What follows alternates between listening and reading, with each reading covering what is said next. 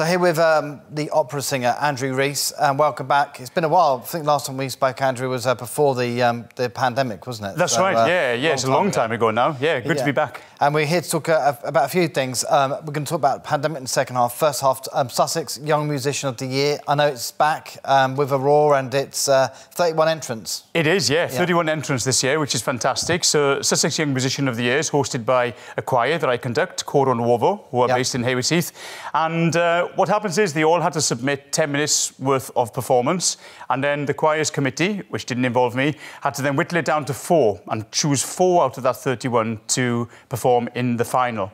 Uh, we did that.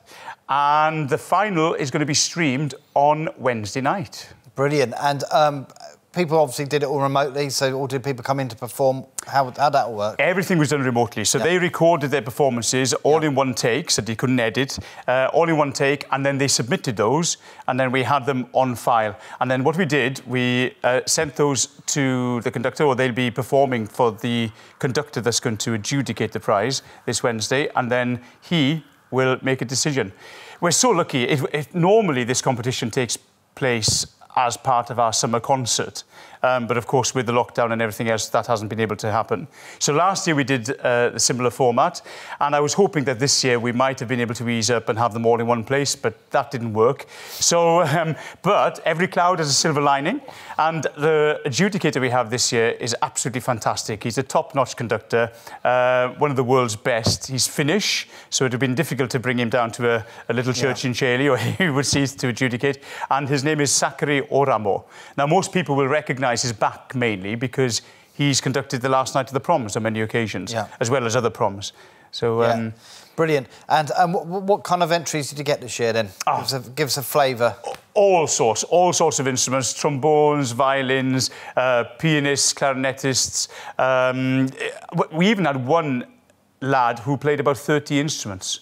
So from, from pipes to violin to piano and keyboards and all sorts. Anyway, the finalists, because that's why we're here to talk Yeah. about them, they consist of uh, Jane Burnell, who's a soprano, and she's originally from Cuckfield. Then we have Lawrence Cutris, who's a clarinetist from Burgess Hill.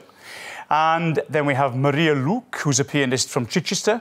And then Nancy Holt, who's a mezzo soprano, and she comes originally from Shoreham by sea. Yeah, brilliant. And um, obviously, we're not going to hear the winner, but um, why select those four? What, what was what stood out for you and your and your colleagues for those, uh, you know, with those four? Yeah, well, they were they were stand-up performances, Yeah. um, and they all varied. And if you tune in on Wednesday night to, to watch the program, you, you'll see for yourselves. You'll experience uh, Yeah. the passion and the power behind the music. But they they communicated really really well. So um, it's easier in many ways to communicate through song because you have lyrics and you have poems that you're presenting and telling the story of. But um, the clarinetist has chosen a really, really difficult piece. Uh, lots of virtuosic music, so lots of fast passages and really exciting passages. Um, and similarly with the pianist, she's chosen some very, very difficult pieces to play. Uh, one of them is, is deemed to be one of the most difficult uh, piano pieces ever written. Yeah. So, uh, and then, and then uh, as I said, the singers, they've chosen a varied program. One of them has stuck to songs, and the other person has, uh, has chosen an aria from an opera as well as songs. Yeah. Um, just to, in normal times, you know, why, what would normally happen then? You'd have a a big show, wouldn't you? I think, and then they'd all arrive and you'd perform and you'd announce the winner. We would, yeah. In Yeah. the past, we've whittled it down to 12 initially Yeah. from, from the original entrance. Then we'd have an afternoon, a wonderful afternoon, over at St Peter's Church in Chailey. Um, and they'd come along, we'd have tea and cake for all the people coming to watch. Um, and they'd perform, and then our panel on that day would whittle it down to the four finalists. Uh, and they would have all performed live, which is great. Uh, and then during our summer concert, which is our big annual concert, they would uh, be invited to perform as part of that concert. Yeah. And the adjudicator would be there present on the evening. Brilliant. Okay. Um, how's it been going with uh, Coro Nuovo, the, um, your choir then? Because obviously it's been a bit complicated, isn't it, with the singing? It's been a tough old year, There's but not been much going on, has there? Well, well, No well there has singing. actually, funnily enough, there Right. has with us because um, from the beginning, I realised that lots of people, you know, people have been like caged birds. They, they have this voice, they have this music and this form of expressing themselves inside, but they've been locked down, literally, you know, and haven't been able to express themselves. So I suggested, why don't we have online rehearsals? And that's what we did. And some of them were pretty tough going, actually, when you've got about 20, 30 yeah. singers uh, all singing at different times because of the lag online. Uh, and at one point, I think I, I reckoned it to being like lambing season on a hill in Wales, all you get, and you're there listening to it going, that's great, excellent, should we try that again? Yeah. um, but, but people needed it, and that's the important thing. People needed yeah. it emotionally, people that are living on their own and weren't allowed out, um, they needed that hour every week of just communicating and being with other people. Yeah. So exactly. it was so, so important mentally as well as, uh, as musically. And you getting back together now, then the restrictions have been um, relaxed? Yeah, when um, the restrictions were relaxed, yeah. we managed to use uh, a place, a, a, a Byre, and we could use that, so it's an open-ended barn, effectively, but we were restricted to 30 singers in that band, which we did. Um, and then the choir, I couldn't go, unfortunately. The first time it was rained off at the Prairie in Henfield. Um, and then I couldn't go to the, to the second performance, uh, but the choir went along there without me and performed in the Prairie uh, in Henfield and, and, had a lovely afternoon with more tea and cake. Exactly. There's a pattern occurring. Yeah, exactly. Um, have you, how did you find the lockdown? Because I know you're self-employed. I know it's been difficult, hasn't it, for, for the arts in general? I know, I know some, some parts of the arts did get funding, didn't they? I mean, we did here being a music venue. Yeah. Some, yeah. some um, um, areas of the arts didn't get anything. It was a bit hit and miss. That's right. Some people yeah. have really, really struggled. Um, yeah. Fortunately, I, I started teaching quite a while ago now, in between jobs, as it were. But all my singing work was taken away immediately. I was supposed to go out to perform with the Boston Symphony Orchestra in Boston and then a concert at Carnegie Hall. And of course, that, I lost yeah. that immediately. Then I should have been touring around yeah. Holland, and that went. Um, but I managed to keep my teaching online, so it was all virtual teaching. Yeah. So my eyesight has deteriorated terribly. um, about six, eight hours a day teaching online, looking at a screen. It's it's not healthy, really. No, it's, it's really not. Is it? I, I've been studying online, and it just yeah it gets it gets a bit bit too much. Um, but yeah. you'll you'll now be looking to kind of uh, meet up in person then, and uh, yes, yeah, absolutely. Yeah. I'm back. I'm back in schools uh, teaching in person. I have been for a while, uh, but not all of them. Not everybody wants you back yet. Um, and the choir, as I said, we've been, we've been back in person at the Byre yeah. and rehearsing there, and hopefully going forwards um, we'll be able to have more live. There, there's some exciting performances coming up in the future. We've got a, a big concert in November at Hurstpierpoint College, which we're putting on for the NHS, yeah. with free tickets for NHS staff. Um, and then next year, next February, we've got a big Carmina Burana as well, which we're planning at the moment. Yeah, people have missed um, live performances, haven't they? But I, I was um, one at Pierfest at the end of Brighton Palace oh, yeah. the weekend, and it was pretty busy, and uh, people really want to hear live musical instruments, live singing.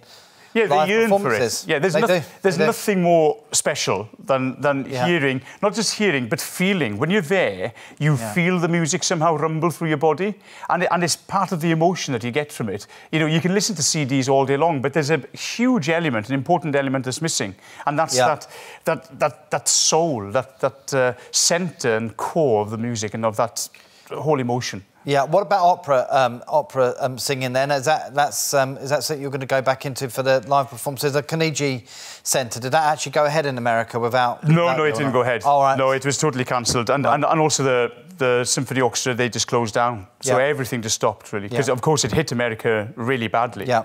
I'd uh, I, I managed to fly out um, a year last February half term to Madison Square Gardens and listen to Billy Joel. And of course, the place was absolutely packed. And then only a few weeks later, things got really, really bad. Yeah. Uh, yeah. And I should have been there in March, April. So. Yeah, what else you got planned in the next few months in terms of the, the, the work schedule? Uh, work schedule is mainly teaching at the moment, so it's going to be difficult to get any singing back up yeah. and running because the work that was planned way ahead, they're honouring those contracts, but at a, a much smaller scale. And of course, nobody can guarantee that what's going to happen in the in the immediate future either. Yeah. So it's all a little bit quiet. Um, lots and lots of teaching. Dare I say it, funerals and weddings I've been taking part in. So we've been playing the organ for, for those. And it was great, actually. We had a wedding a few weeks ago where they had quite a lot of guests in the church because they were all within their own bubbles. Yeah. And they managed to fit quite a lot in. Um, and also for some funerals, they you know, they, they slackened the uh, restrictions on those. So we've had quite good attendances and some really, really sad occasions, but, uh, but great to have people in. But you see, the congregation still haven't been allowed to sing. Yeah. So it's as of strange, today, isn't it? I mean, the, it is strange the, the way the restrictions have come about and Well, it's really strange because you know when I take my choir, the yeah. choir at church and and Coro Nuovo, um, I'm only allowed officially indoors to have six singers yeah. singing at the same time, and yet obviously we need to talk about Wimbledon and the Euros and sixty thousand. Yeah. Singing and hugging and dancing and cavorting and no restrictions there. Yeah. And it just doesn't make sense to me. And we're going to talk a bit, a lot more about that in the second half. So um, that's Andrew Rees, and uh, join us for the second half. I'll be speaking a lot more about um, opera singing and uh, what's going to uh, be happening in the next few months. Um, join us then. Remember, you can keep in touch with us on the various social media channels, Twitter and Facebook, by searching Latest TV. Plus, of course, you can see all our clips and get the latest news at our website, which is www.thelatest.co.uk. We'll see you in just a few minutes.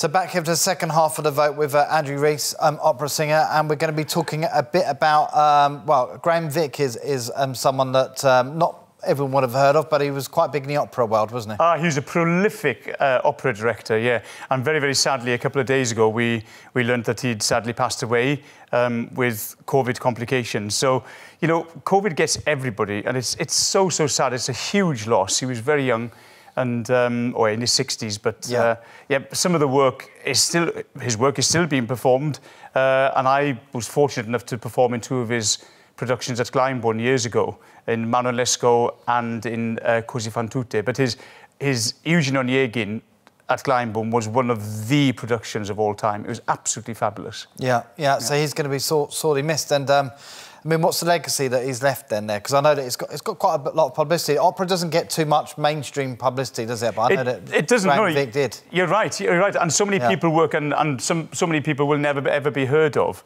Uh, yeah. And you know until after they've died, and then people go, oh yes, look at this production. Wasn't it amazing? He Graham Vick ran uh, Birmingham Opera Company and had run it for years and years and years. I think for well, since 87, I think, um, had, had done some amazing work there and brought the community in and brought people together. And, and uh, his view on opera was that he needed to include everybody. Opera should be inclusive yeah. Um, yeah. And, and not elitist. Yeah, and we're going to talk a bit about that, aren't we? Because uh, post-COVID, I mean, um, access to the arts might be more difficult for people because not every venue would have uh, would have made it through the, the, the, pandemic. Obviously, you know, a year and a half without any uh, customers coming through the doors not everyone's. Uh, That's right. I mean, so, so, many venues might have closed down now, yeah. and which is really, really sad because people need it. People need, yeah. as we mentioned earlier, people need live music for various reasons, but not just music. People, people need um, plays and drama, and they just need theatre.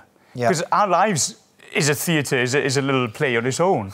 But people need to go there for the release, yeah, yeah, you know. yeah, exactly. Um, and I know you're going to be helping out the NHS. Obviously, they've done a, a sterling job, haven't they, of, uh, over the last year and a half. What, Absolutely what are you guys going to be doing in terms of a, a concert? Yeah, November? in November, uh, November the 20th at Hurstpierpoint College, we've got a huge, a big concert planned. Uh, we've, I've been there to see the venue already, and it's going to include Coro Nuovo itself. It's going to include a, a choir from Hurstpierpoint College, yeah. and hopefully two of our young musicians from previous years or maybe this year. Uh, we haven't quite decided yet. Yeah. And it's going to be one really, really big celebration concert for the NHS. Yeah, um, which sounds uh, great. I mean, they, have done stunning work. So, um, and uh, have you got a venue in mind, and you got what, what's what's it going to consist yeah. of? And there's a wonderful there's a wonderful theatre uh, right. at Hurstpierpoint College, yep. and that's where it's going to take place. Yeah. Um, yeah, and it's going to, in, in, terms of repertoire, I'm not sure yet, but whoever we get to perform, I'm hoping that we'll have um, a couple of numbers where we'll all perform together. Brilliant. And raise our voices for the NHS. Brilliant. Um, so what next then in terms of Coro Nuovo and you getting people on board, um, you know, with the organisation? What, what have you got planned for the next kind of, say, five years? Yeah, oh, five years, gosh. we're, we're, hoping that the, um, that the bursary will grow and grow and grow. Of course, yeah. we, we depend and rely upon um, sponsors, and I, one major sponsor, Trad Oak, who I have to mention, both Neil and Chris Peskett, the owners of this. Um, of this business have sponsored us now for the last few years, and they've continued to sponsor us um, very, very generously. And uh, so we're hoping that it'll grow and grow and grow, so that hopefully we can offer more than a thousand pound and 500 and two um, prize of 250. Um, hope to gain interest and get more and more people involved. But our main aim and our main ethos is to give young musicians a platform. So when we get back to live performing properly, to give as many of those young musicians that we've seen coming through and entering, even if they didn't make the final, just to give them an opportunity to perform, because they've all craved it. Yeah, exactly, yeah. Um, what about um, playing musical instruments in schools? Because I'm just thinking people are going to be catching up from what they've missed over the last year and a half, and uh, maybe you know musical instruments, music in general, as a kind of a topic of study is going to be uh, take a back, bit of a back seat. Is, well, that, well, it is has. that something you fear?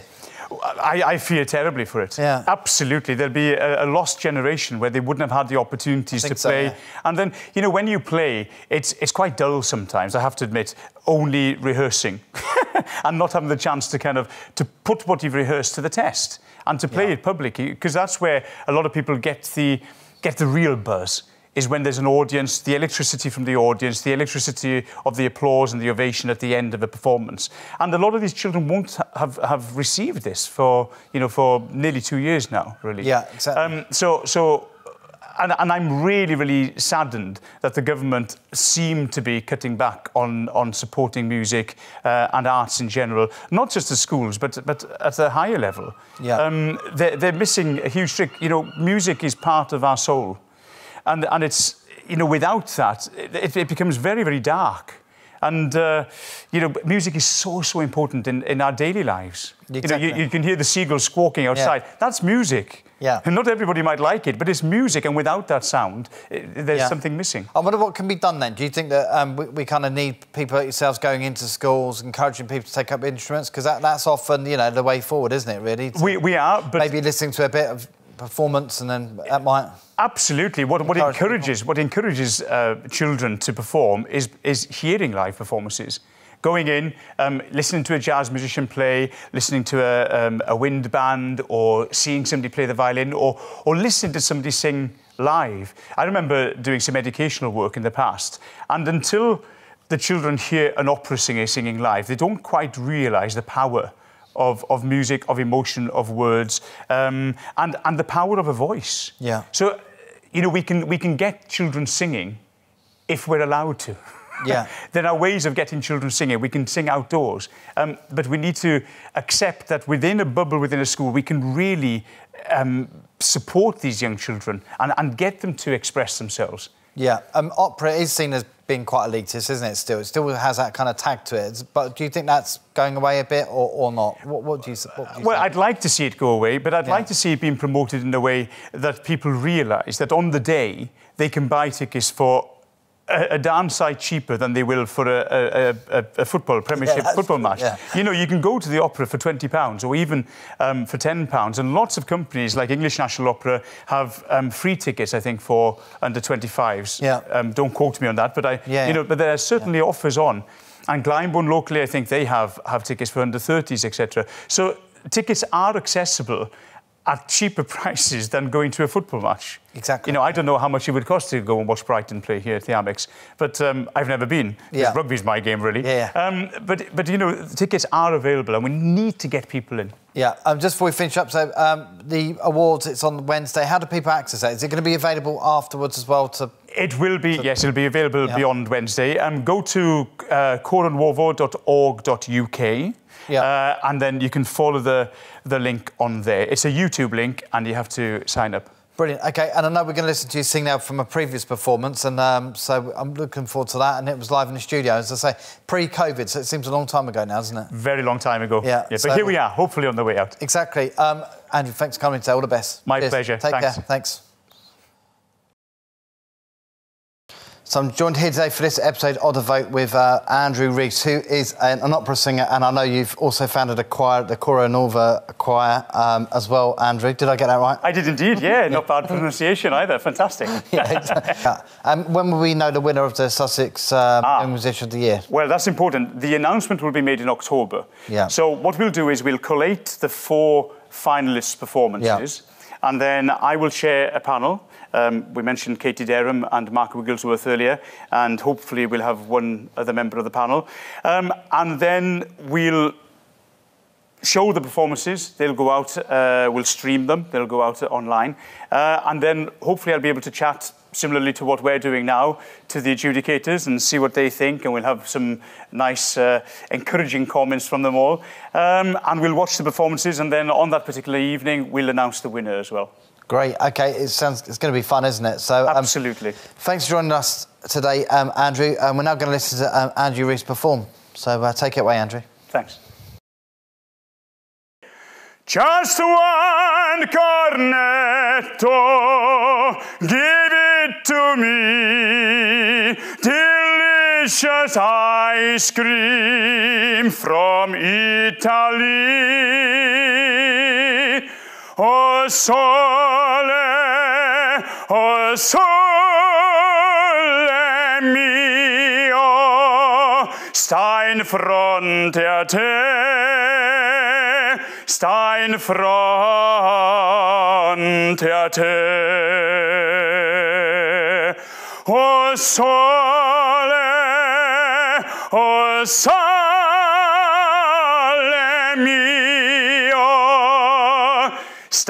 sta in